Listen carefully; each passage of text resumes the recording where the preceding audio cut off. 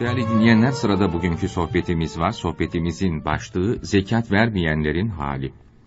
Zekat vermek Peygamber Efendimizin Mekke'den Medine'ye hicretinin ikinci yılında Ramazan ayında farz oldu.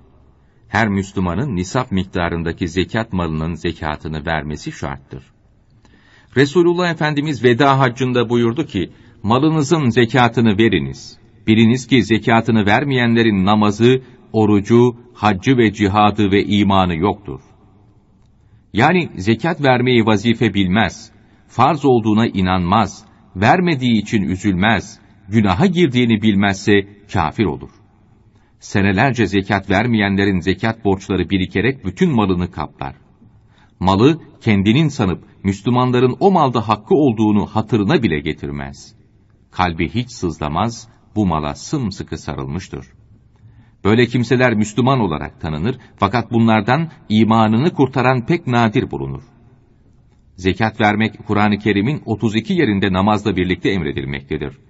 Tevbe suresi 34. ayeti kerimesinde mealen malı parayı biriktirip zekatını Müslüman fakirlere vermeyenlere acı azabı müjdele buyuruldu. Bir İslam büyüğü zenginlere nasihatinde buyurdu ki, Ey mağrur zengin! Dünyanın çabuk geçip gidici malı, parası seni aldatmasın. Bunlar senden önce başkalarınındı. Senden sonra da başkalarının olacaktır. Cehennemin şiddetli azabını düşün. Zekatını ayırıp vermediğin o mal, uşrunu vermediğin o buğday, hakikatte zehirdir.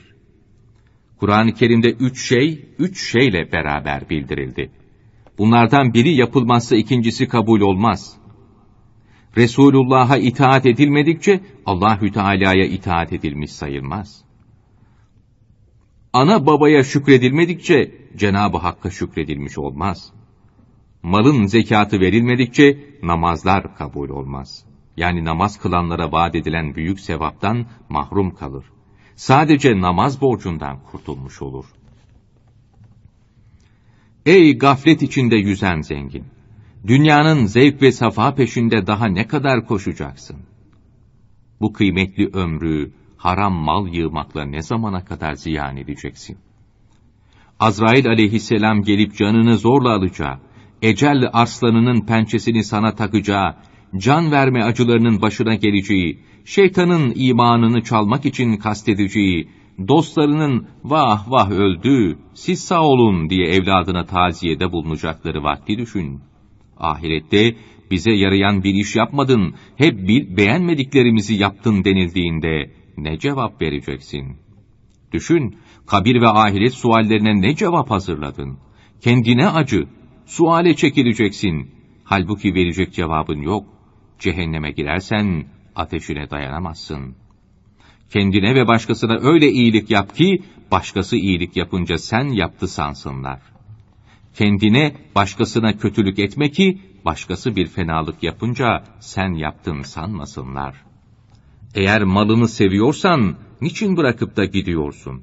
Beraberinde götür.